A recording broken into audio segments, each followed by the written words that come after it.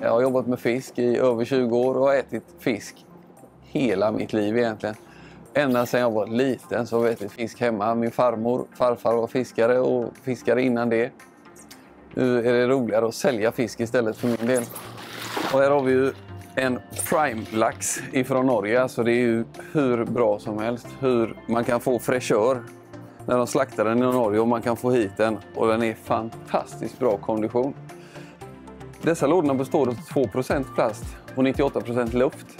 Vilket gör att en lastbil som ska frakta sakerna hit kommer att minska avsevärt på bränsleförbrukningen.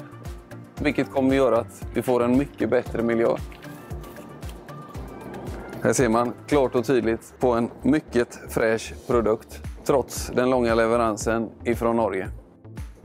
Så här fin skulle inte en lax vara om det inte vore för EPSen som dessutom är 100% återvinningsbar.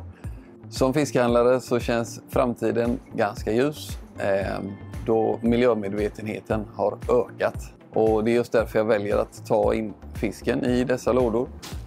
Och med denna MSC Group så eh, kan vi tillsammans göra en mer hållbar marin kultur.